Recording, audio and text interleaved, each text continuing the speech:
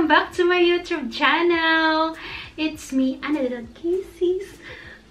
So in this video, guys, I'm going to share to you how you're going to start doing crochet or how you're going to, you know, as a beginners.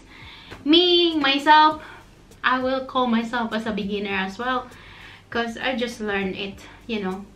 I'm self-taught. Hindi talaga ako yung pro na pro na pro. Pero I know the basic stage. So, it's just the basic stage.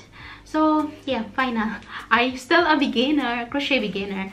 So, today, I'm going to share to you what you going, what you needed if you want to start um, doing crochet. So, ito na siya. So, back then, um, 2013, doon talaga ako nag-decide na I will do my crochet. Alright guys, enough ko kasi nandito si Colton. Tapos, hmm, yeah, she's interrupting me. But it's all good now. Alright, so first and foremost, you needed a hook if you want to start doing crochet. So, any kind of hooks. Crochet hooks. so, ayan, meron po ako, my friend here sa Bunbury, back then, binigyan niya ako ng hooks. So, marami siya. Ayan. Natanggap ko ito sa Christmas. So, marami siyang mga choices. But guys, to be honest, ito is spare ko lang. Uh, I have a favorite crochet hooks. To be honest. Now, ito yung pinaka-favorite hooks ko. My friend na si Wendy, she was given this to me back then. And this one is size 3.5mm hook.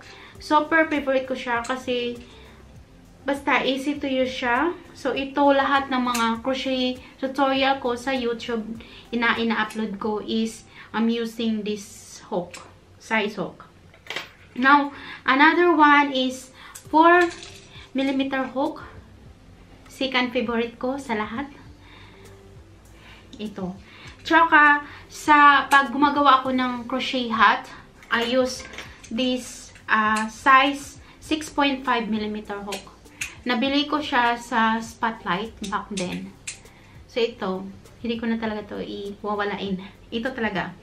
So, at saka 5.5mm hook. Kasi, depende yan sa project na gagawin mo. Tsaka sa gauge na i-achieve mo, ba? Tsaka, ang last but not the least na favorite ko is 3.75 75mm hook. Same kulay ng 6.5. Alright, next guys. Of course, kung meron tayong hook, meron din tayong yarn. Sa akin, at, at, at the moment, gumagaw, uh, gumagamit po talaga ako ng cotton yarn. Uh, ito, nabili ko sa Spotlight. Okay. And it's called Splendors.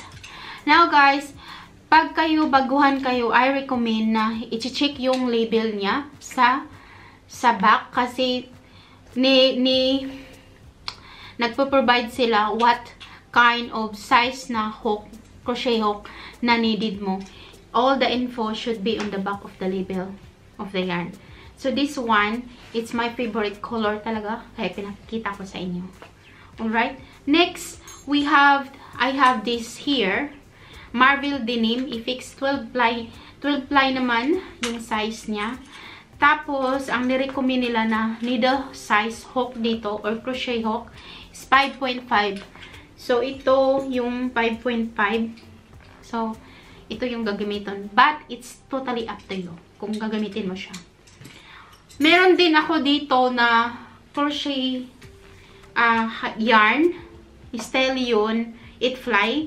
Ang nirecommend naman nila na size na crochet na gagamitin ko is 4, 4 mm hook. But, again, it's totally up to me. And this kind of it fly, I can actually use the 3.5 mm hook, which is my favorite sa lahat na size ng crochet hook. Again, kung mayroon tayong yarn, meron din tayong scissor you needed a scissor, guys. Lahat ng project mo, you needed needle and scissors. Of course, um, measurement or tape measure is optional. Tsaka mga ribbon is optional if you want. Uh, marami pa. Um, basta marami. Kung gusto mong, you know, i-achieve or gusto mong mag mag-create ng mga dresses or hat, it's totally up to you. But kung beginners kayo guys, I always recommend na mag-start muna sa basic stage. Chain, single crochet, um, double crochet, half double crochet, yung mga ganun na mga stage. So, sa next, um, sa next video ko guys, expect me na yun ang gagawin ko. So, this one is just the beginners. Kung ano ang dapat niyong bilhin. At saka, ano yung dapat niyo matutunan when it comes to crochet. Alright, so I hope na Skype, I hope na this video will help you how to start me uh, doing crochet. Okay? So, kung bago ka sa aking YouTube channel, please don't forget to subscribe, hit the bell button, and don't forget to leave a comment and a thumbs up.